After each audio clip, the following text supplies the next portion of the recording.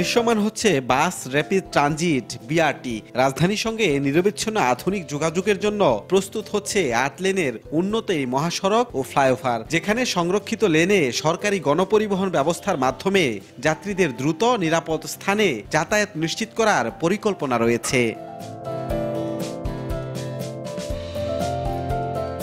বিমানবন্দর থেকে গাজীপুর পর্যন্ত প্রায় সাড়ে বিশ কিলোমিটার প্রকল্পের টঙ্গী অংশের ফ্লাইওভারের কাজ প্রায় শেষের দিকে।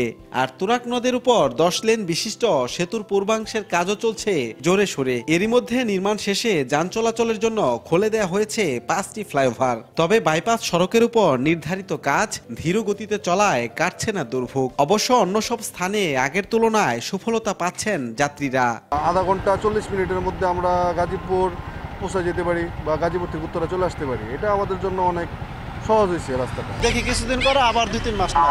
আবার এক মাস করে আবার দুই তিন মাস নাই। অটোমেটিক বিকাশ করতে সেট করুন অটোপে বিকাশ থাকলে আর কি লাগে? এটা আমাদের রেয়ার সাইড রেয়ার সাইডের আমাদের অ্যাসপল্টের কাজ হয়েছে। অ্যাসপল্ট মানে হচ্ছে আপনার পিচ ঢালাইয়ের কাজটা সম্পূর্ণ হয়েছে। আর ঢাকা রোডে বেস্ট টাইপ ওয়ানের কাজ চলতেছে মানে পাথরের ফিলিং তো এটা শেষ হলে আমরা এখানে পিচ ঢালাই করে দিব। করে দিলে আমরা এটা ছেড়ে দিব। দফায় দফায় বাড়ানো হয়েছে সময় ও অর্থ।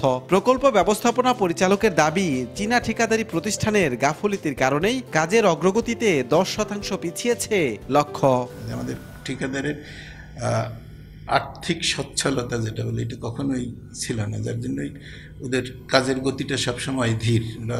সাফিসিয়েন্ট ম্যান পাওয়ারও ইউজ করে না ইকুইপমেন্টও ইউজ করে না। এমন পরিস্থিতিতে পঁচিশটি স্টেশনের মধ্যে প্রথম তারগাছ এলাকায় একটি মডেল স্টেশন চালুর মধ্য দিয়ে নেওয়া হবে পরবর্তী পরিকল্পনা। তারগাছ স্টেশন যেটা এটাকে একটা পাইলট প্রজেক্ট হিসেবে একটা মডেল স্টেশন হিসেবে আগে দাঁড় করাচ্ছি। তো এটা কমপ্লিট হলে পরে এটাতে আমরা পরীক্ষা নিরীক্ষা করে দেখব যে সব কিছু ঠিক আছে কিনা কোনো চেঞ্জের দরকার আছে কিনা।